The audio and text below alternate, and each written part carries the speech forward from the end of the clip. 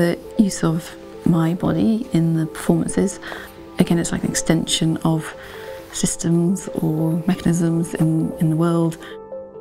The balloons and the piping, and I guess it's some kind of extension of this airflow of these things in and out of the body.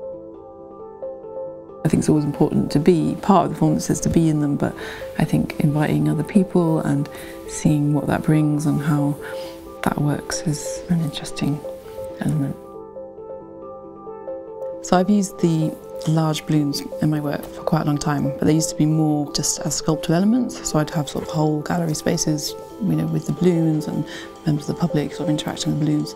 So then that's where the performance came about of trying to work out if I could actually sort of inhabit the balloons. So that's where the suits kind of came from and then they just sort of took on this life of their own become an important part of the, the work and somehow the balloons and the suits have sort of come together as this weird duo. My process generally starts with the setting and the environment that where I'm going to show or where I'm going to make a film. So depending on the location of where that is and then I think the work kind of builds builds from there. Place is definitely very important in my work and landscape. I think I was very lucky because I, I grew up in a rural environment in Pembrokeshire in West Wales, which has you know extraordinary landscape and coastline. Um, so I spent a lot of time in the sea and on the beach and constructing things and painting things. And it's an incredibly creative environment, I think, to grow up in.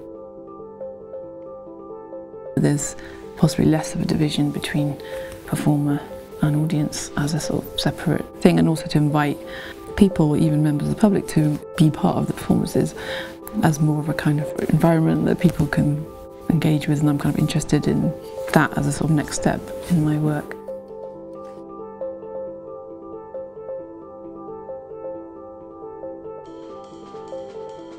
The boundaries between the performer and the audience have operated in, in different ways in my work, depending on the setting, depending on, on the context.